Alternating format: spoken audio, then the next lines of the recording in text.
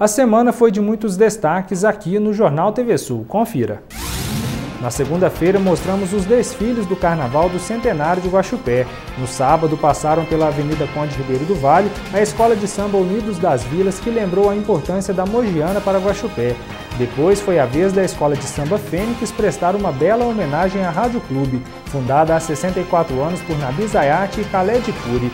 Depois foi a vez do bloco Vira-Latas do Samba defender as ruas de paralelepípedo. E não poderia faltar também a irreverência do bloco Feijão Queimado, que homenageou as famílias sírio-libanesas de Guaxupé.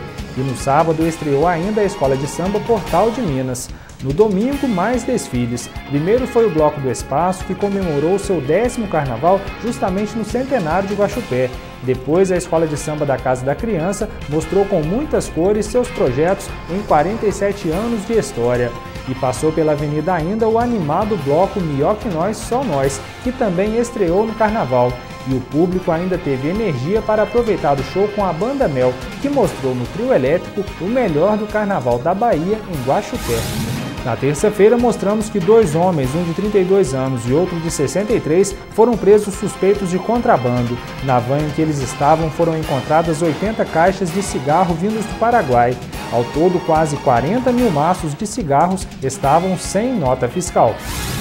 Na quarta-feira, mostramos a tradição da missa de cinzas realizada na Catedral de Nossa Senhora das Dores, em Guaxupé. A quarta-feira de cinzas marca o início da quaresma para os católicos. Centenas de fiéis acompanharam a missa, celebrada pelo pároco da Catedral. Na quinta-feira fez exatamente um ano que o mercado municipal de Guaxupé está interditado.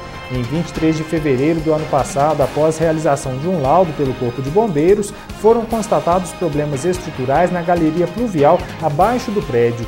Diante da gravidade e seriedade do problema, a Prefeitura ordenou a desocupação do mercado.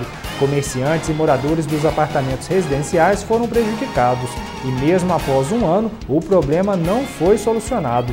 A Prefeitura pretende consertar a estrutura ainda este ano e a obra está estimada em 850 mil reais.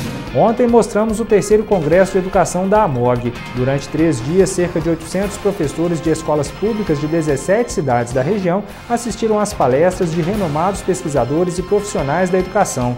Pela primeira vez, o congresso é realizado fora de Guaxupé, onde está a sede da AMOG, e este ano é realizado no campus Muzambinho do Instituto Federal do Sul de Minas, em parceria com a Uniararas e a AMOG. E hoje mostramos o trabalho para a popularização do tênis no Guaxupé Country Club.